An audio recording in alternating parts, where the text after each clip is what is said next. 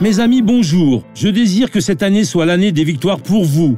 La Bible déclare dans le psaume 63, le psaume de David, comme ceci. Parce que ta fidélité, ta bienveillance parlant à Dieu, est meilleure que la vie. Prêtez attention. Cela, c'est très fort, parce que nous apprenons que la vie est le bien suprême que nous avons, mais David a parlé un peu différemment. Parce que ta fidélité est meilleure que la vie. Mes lèvres font ton éloge. Et donc c'est cela que nous devons faire parce que Dieu, en plus de nous avoir donné la vie que nous appelons de bien suprême, il a sa bienveillance, la bonté d'espérance, l'espérance bienveillante à notre sujet. Pour cela, c'est mieux que la vie. Il veut que vous vous sauviez au nom de Jésus rapidement. Voyez cette personne qui a son témoignage à raconter. Dieu m'a guéri de cette jambe car je ressentais une douleur dans le dos et ma jambe bloquait.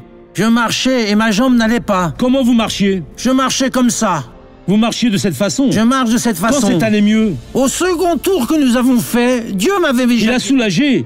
Oui. À présent, ça va bien. Maintenant, je marche Marchez normalement. normalement. C'est fini, gloire à Dieu.